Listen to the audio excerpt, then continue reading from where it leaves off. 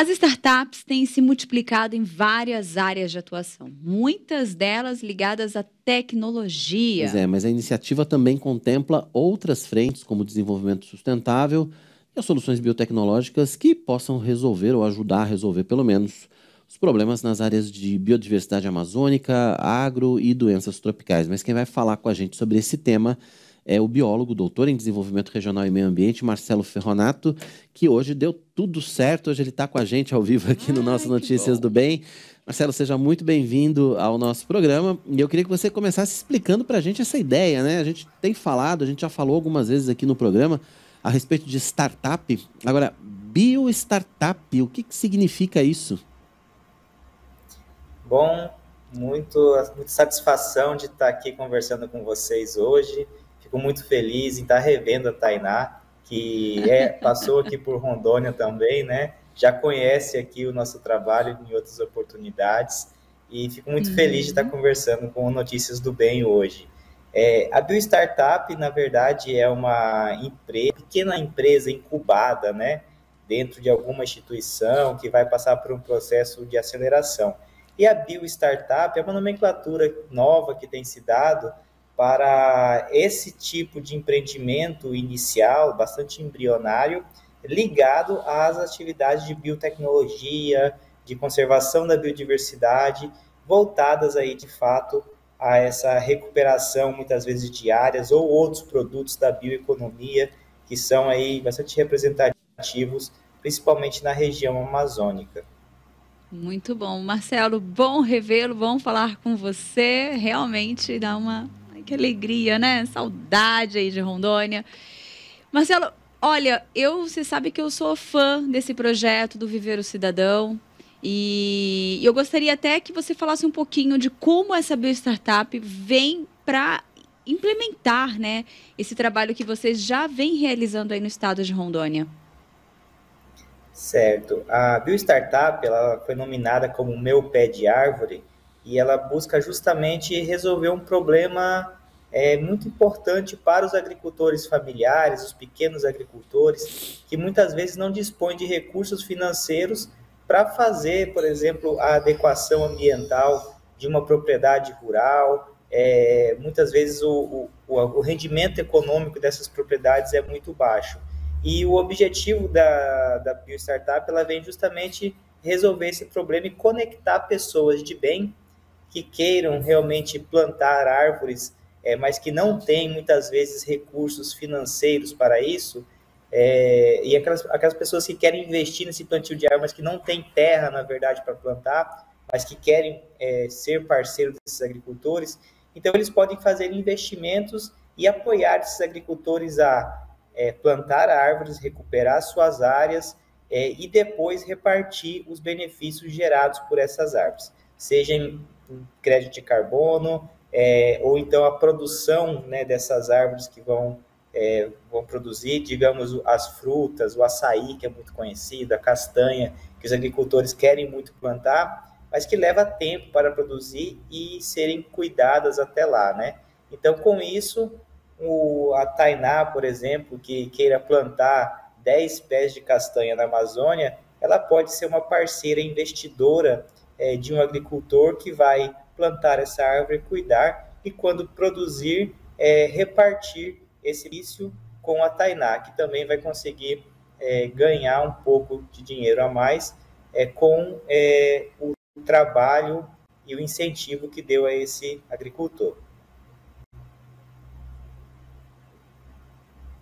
Entra com o dinheiro para poder é, garantir o plantio, para poder garantir é, é, o trabalho do, do, agricultor aí no norte do Brasil. E depois existe uma divisão de lucros. Agora, é, é um investimento único, ele tem que investir mensalmente. Como é que funciona esse Não. processo? A ideia é que seja um investimento único, né?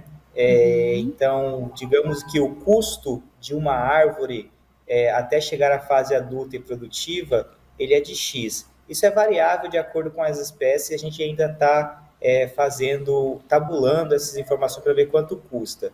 Então, digamos que, vou fazer um ponto, uma conta bem simples, é, até a idade adulta dessa árvore, ela custou é, mil reais para esse, para esse agricultor. Porém, a partir da primeira safra, ela começa a gerar uma renda de dois mil reais. Então, proporcionalmente, né, cada tanto o investidor quanto o agricultor, ele recebe um percentual dessa venda.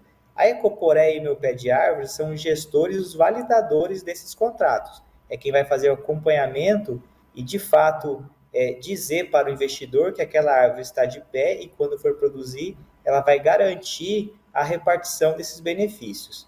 É, o dinheiro que o agricultor ganhou né, ao longo desse tempo desse investidor, digamos os mil reais, é, ele pode investir tanto na manutenção dessa árvore ou investir em outras ações na propriedade para evitar o desmatamento e abertura de novas áreas.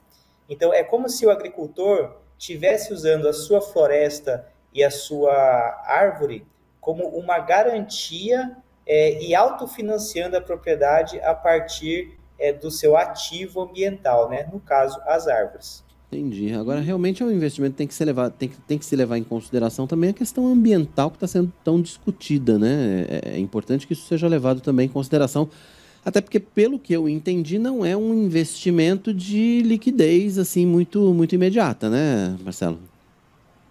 É, depende, né? Tem, tem algumas árvores que começam a produzir com dois anos, né? Um ano e hum. meio. É, então, assim, e tem árvores que produzem a longo prazo.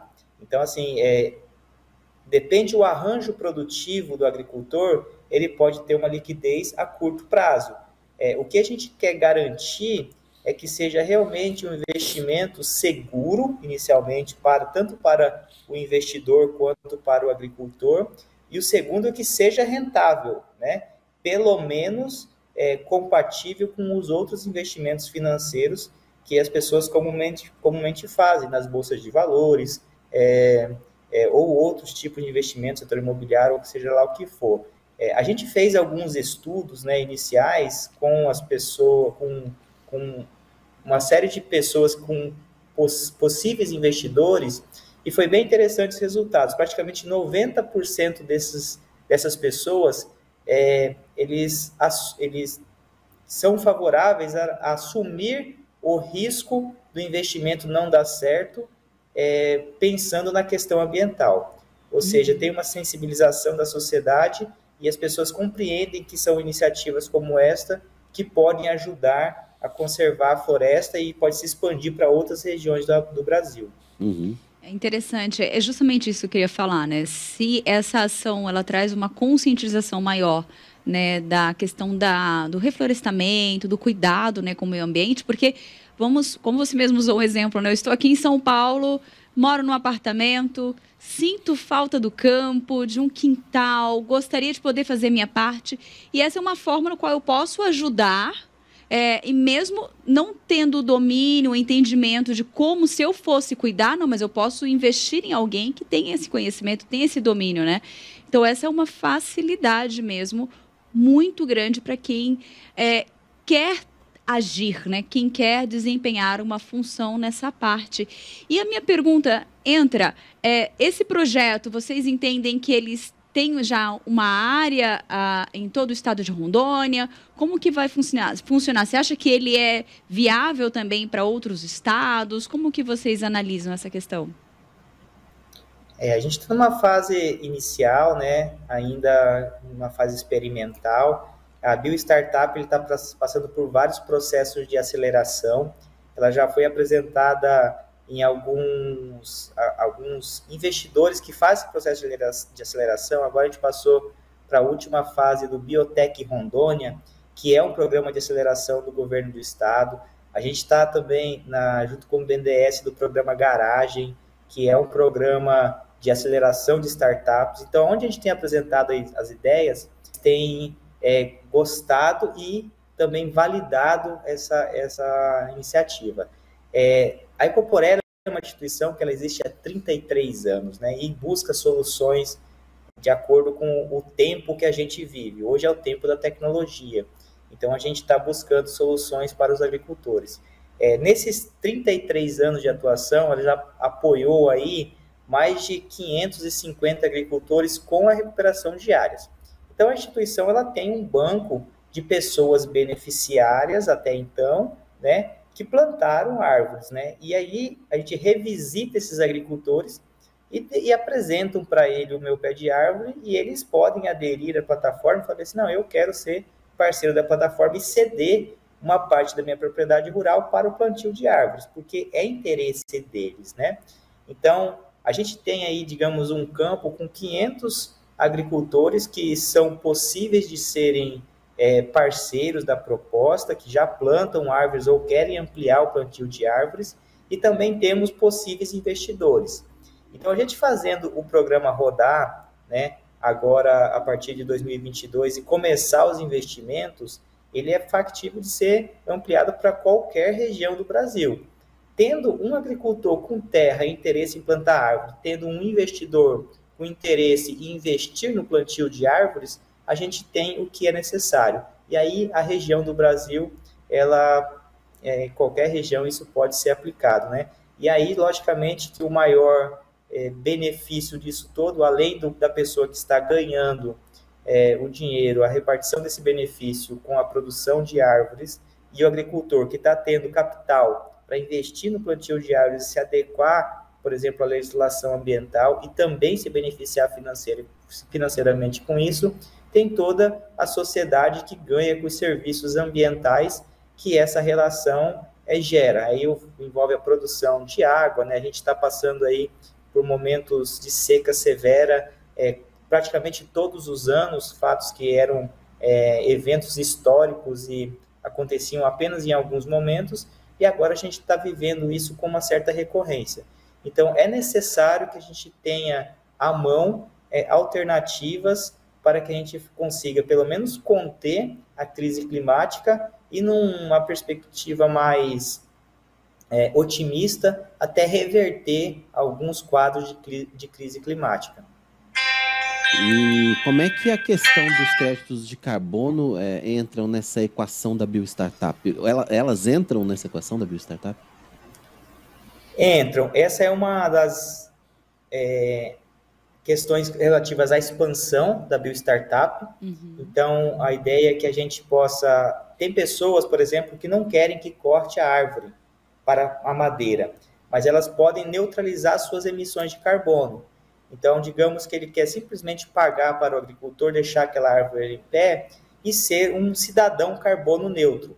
Hoje tem as empresas que são carbono neutro, que buscam isso, que fazem grandes projetos de conservação é, e justamente para não emitir carbono e neutralizar suas emissões, mas isso não chega para os pequenos proprietários rurais. Então, assim, é de pequeno para pequeno, é de cidadão para cidadão. A, as empresas elas buscam grandes áreas que os agricultores não têm essas grandes áreas. Então, se uma pessoa quer neutralizar suas emissões de carbono e pagar por isso e ser um cidadão carbono neutro, também pode ser essa finalidade do meu pé de árvore. Se a pessoa quer ser um investidor em sementes, é, ele pode ser, dentro da plataforma, um investidor em sementes. Se ele quer ser um investidor em sistemas agroflorestais, ele pode ser um investidor em sistemas agroflorestais. Se ele quer ser um investidor na produção de madeira, ele pode ser um investidor na produção de madeira.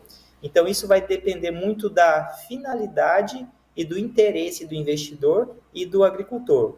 Então, assim, se o, aí, a plataforma, o aplicativo em si, ele vai conectar esses dois interesses, essas duas pessoas. O agricultor, por exemplo, que quer produzir, é, plantar para gerar o crédito de carbono e o cidadão que quer neutralizar as suas emissões.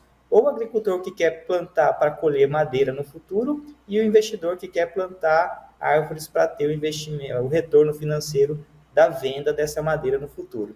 Então ele vai ter várias é, alternativas de investimento e logicamente cada uma dessas alternativas ela tem um, um, uma, um percentual de rendimento, alguns mais, alguns menos. Aí vai muito da consciência ambiental de cada um ou do interesse no retorno financeiro.